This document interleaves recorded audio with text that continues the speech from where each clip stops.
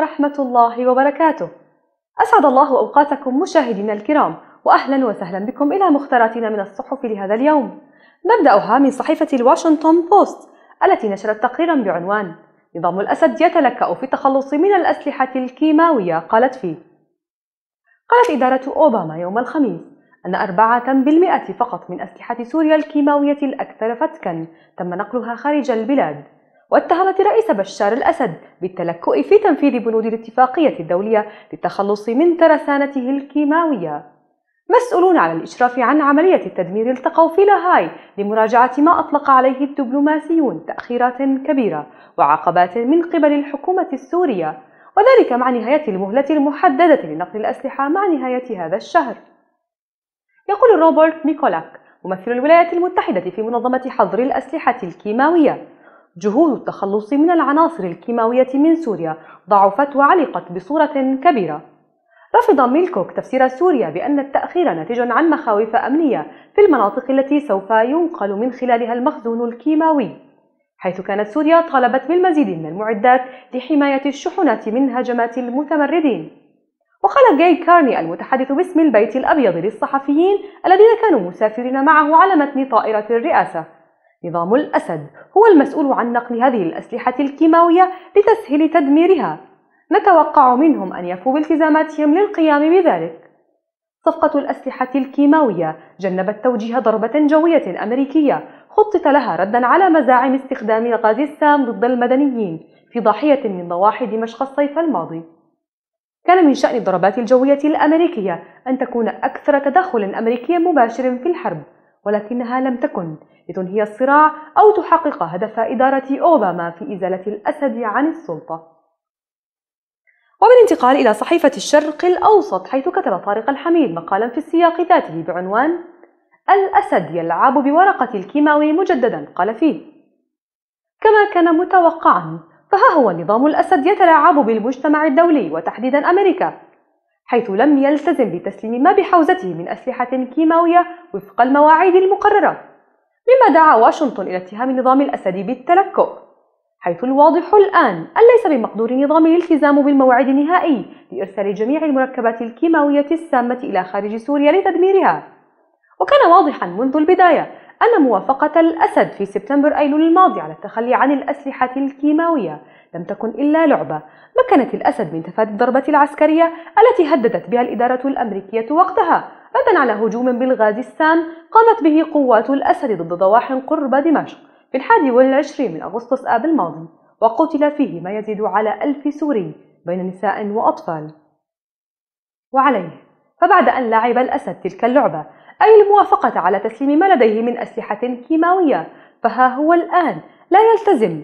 وإنما يريد استخدام ورقة الكيماوي هذه مرة أخرى الآن لمساومة الغرب وتحديدا واشنطن وخصوصا مع الضغوط الغربية على ضرورة انتقال السلطة في سوريا.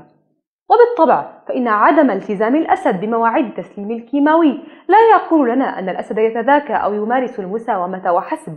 بل إنه يظهر قناعة الأسد نفسه بأن ليس لدى المجتمع الدولي الرغبة الحقيقية في اتخاذ مواقف جادة لإسقاطه أو لجم آلة قتله التي لم تتوقف لحظة حتى وفده. يفاوض في جنيف ولذا فإن الأسد لا يكترث الآن خصوصا وكما قلنا مرارا إن الأسد لا يؤمن إلا بمنطق القوة وهو يدرك تماما الآن أن كل التحركات الغربية وتحديدا تحركات واشنطن لا تشي بأن هناك أفعالا جادة تدل على الرغبة في استخدام القوة ضده.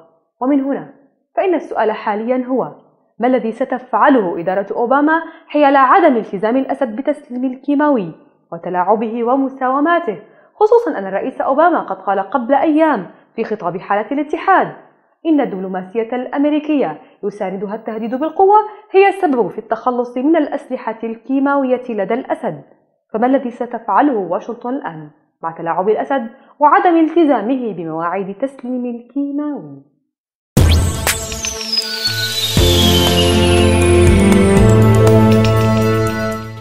أعزائي المشاهدين ننتقل الآن إلى صحيفة القدس العربي حيث كتب حذيفة نجم مقالا بعنوان وجهان لعملة واحدة بشار السيسي. قال فيه اسمحوا لي أن أبدأ بنموذج لجملة شهيرة؟ لطالما رددها المرحوم نهاد قلعي. وما زالت تتردد في أذهان آبائنا هي. إذا أردنا أن نعرف ماذا يجري في مصر يجب علينا أن نعرف ماذا يجري في سوريا. تسلسل أحداث مرعب يجري في مصر. فبعد انتخابات أول رئيس مدني للبلاد ضربت البلاد بعاصفة انقلابية.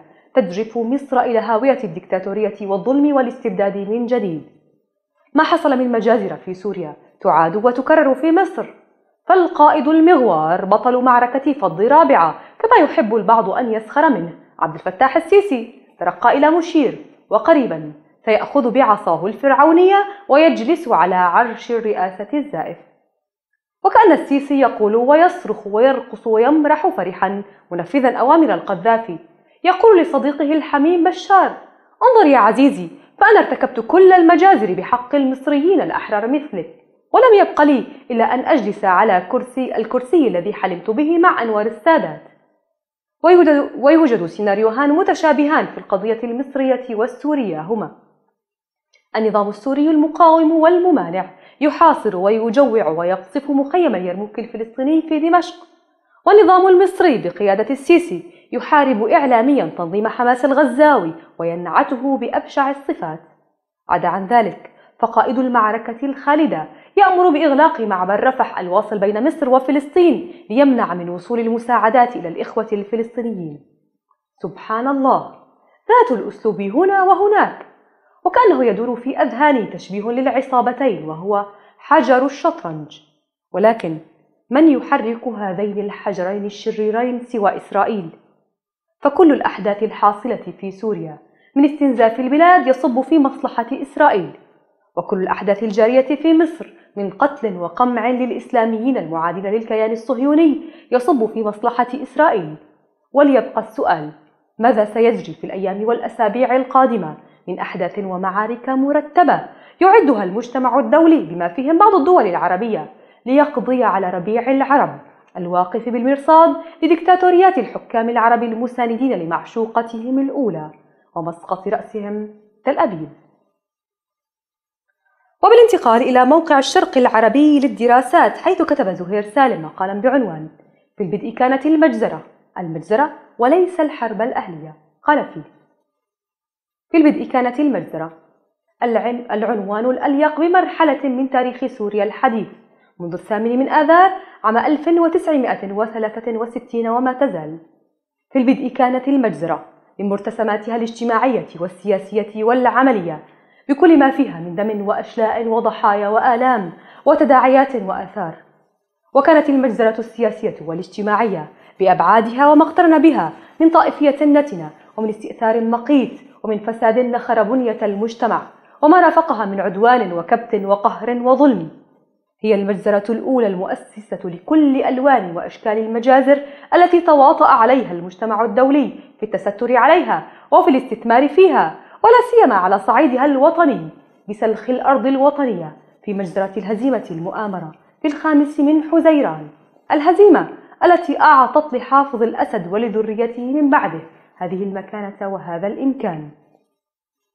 إن ما جرى في مدينة حماة الأبية في الأسبوع الأول من شباط سنة 1982 لم يكن إلا حلقة في سلسلة من الحلقات عاشتها الأرض السورية وما تزال منذ نصف قرن على عين الناس. وإننا اليوم حين نقرن المجزرة الكبرى للقرن العشرين بما تلاها من مجازر القرن الحادي والعشرين يرتكبها الجزار بمساندة من المتواطئين معه وبغطاء من الساكتين عليه في كل مدينة وبلدة وحي في سوريا.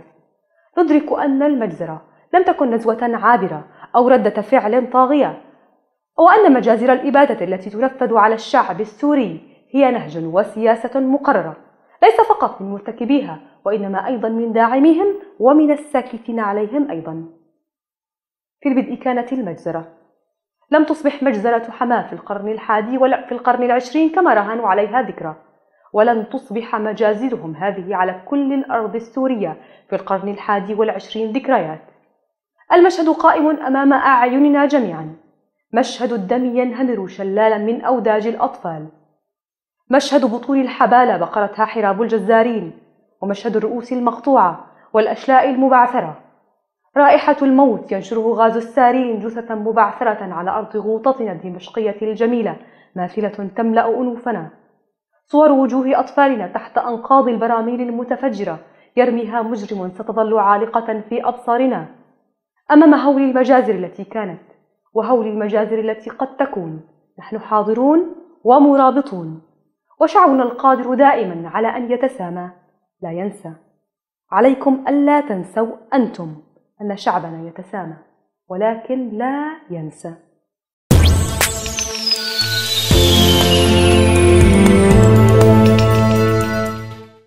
أعزائي المشاهدين ننتقل الآن إلى موقع كلنا شركاء حيث كتب شاهو القرداغي بعنوان الثورة السورية أنجبت الأحرار ونظام الأسد أنجب الأشرار قال فيه. عندما بدأت الثورة السورية المباركة بصورة سلمية خاف النظام الأسدي منها وحاول تشويهها بجميع الوسائل ولكنه عجز عن ذلك لأن الشعب أراد الحصول على مطالبه وإنهاء حكم الدكتاتور الذي بغى وطغى وأسرف في الطغيان وأفسد البلاد والعباد في فترة حكمه ولكن عندما عجز النظام عن النيل من الثوار بجميع الطرق بدأ يلجأ للوسائل الخبيثة التي استخدمها غيره من الطواغيت لتشويه الثوار أمام الشعب وأمام العالم. وإحدى هذه الوسائل هو صنع الجماعات المسلحة وإظهارها بمظهر الثوار ليفسدوا ويقتلوا ويشوهوا صورة الثوار أمام المغفلين الذين يصدقون ما يشاهدونه في إعلام النظام دون أن يفكروا بأن هذا النظام قد خدعهم طوال هذه السنين عن طريق الإعلام. الثورة السورية جاءت من أجل الكرامة والحرية والعدالة وترسيخ هذه المبادئ وجاءت لإنهاء القتل والسحق والذبح من قبل النظام أو من قبل أي جماعة أخرى سواء كانت مصنوعة من قبل النظام نفسه أو تم صنعها من قبل المخابرات الدولية أو الإقليمية لتنفيذ أجندة هذه الدول في سوريا. ولكن العجيب أن بعضا من المغفلين ومن أشباه المفكرين والكتاب يحكمون على الثورة السورية بناء على تصرفات بعض الجماعات المشبوهة التي تسعى في الأرض فسادا وتقتل الثوار قبل أن تقتل الشعب الأعزل. الثورة السورية ليست مسؤولة عن أفعال هذه الجماعات التخريبية لأن الثورة جاءت بالرجال جاءت بالأبطال الذين يفدون بأرواحهم بلدهم في سبيل حماية أعراضهم ومقدساتهم. الثورة السورية المباركة لا يمكن تشويهها من قبل أجهزة الإعلام أو بعض الجماعات لأنها صبرت على جميع أنواع المحن وتنتظر النصر من الله سبحانه وتعالى لتشرق شمس الحرية في بلاد الشام وينتهي الظلم والطغيان بعدما فتكت بالشعب وأرهقته. من الظلم اتهام الثورة لأنها وراء نشوء هذه الجماعات الإرهابية بدلا من أن نتهم النظام الذي يعتبر صانع هذه الجماعات بامتياز لأن هذه الجماعات لا تخدم إلا النظام وسيحين وقت محاسبة هذه الجماعات على جرائمها عندما ينتهي الحساب مع النظام الأسدي ويتم إنهاء حكم آل الأسد في سوريا وبالانتقال إلى موقع زمان الوصل حيث كتب محمد الأثقاني مقالا تحت عنوان هل نستحق كسوريين ما يجري لنا؟ قال فيه كثير علينا أصلا بشار لو كنا ما بنستاهل ما حكمونا بيت الأسد نحن مستاهلين كل شي عم يصير فينا ربما نحتاج لساعات. في حال رغبنا جمع كل الجمل التي يستخدمها بعضنا فيما يعتقدون أنه توصيف مختصر مفيد لأسباب الألم الذي نعيشه كسوريين. بكل ما تحمل كلمة الألم من معنى.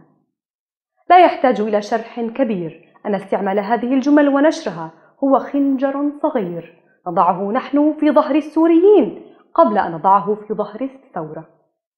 فليس أخطر على الإنسان الطبيعي أن يقتنع بأنه الأسوأ بين جميع أمثاله ولا يختلف الأمر في حالة شعب أو أمة والتي فيها الإنسان هو عنصر تكوينها. وكل ما أتمنى أن نقتنع بأننا شعب مثل بقية بني البشر مع بعض المميزات الإيجابية والأخرى السلبية التي تتركها المورثات والظروف خلال السنين والتي مهما كان حجمها أو تأثيرها فإنها لن تجعلنا نخرج عن حقيقة أننا مجموع بشري فيه كل تناقضات البشر. لا أريد أن أستفيض كثيرا في شرح الفكرة لأنها واضحة جدا والمتأمل بقليل من الموضوعية. سيعرف أننا شعب فيه من الأبطال الكثير وفيه من الأشرار الكثير. فانطلاقة الثورة من أجل الكرامة التي فقدناها في سوريا الأمس وانتفاضة مدن سوريا كلها مدينة بعد أخرى غضبا لإخوتهم وطلبا للكرامة والحرية. وفي الوقت نفسه فإن قصص السوء وأنانية الظهور وقتل العمل الجماعي وقصص الاحتيال والتكسب المهين وحتى جرائم أتباع نظام أنفسهم والذين يطلق عليهم العالم اسم سوريين. شئنا ذلك أم أبينا؟ كل ذلك يجعلنا نؤمن أيضا أننا لسنا شعب الله المختار ولا يجب أن نبقى نروي للناس بأننا الشعب البطل الذي لم يلد التاريخ مثله. علينا أن نقتنع بأن فينا من الخير الكثير وفينا من السوء الكثير وأننا نحتاج أن نحسن أنفسنا ونتبع قوانين وسنن الله في أرضه في بلوغ الشعوب لدرجات رفيعة من التميز وبأننا كنا مخدرين واستيقظنا. فلا ننتشي ونكتفي بعظمة بطولات بعضنا ولا نيأس بسبب سوء بعضنا الآخر.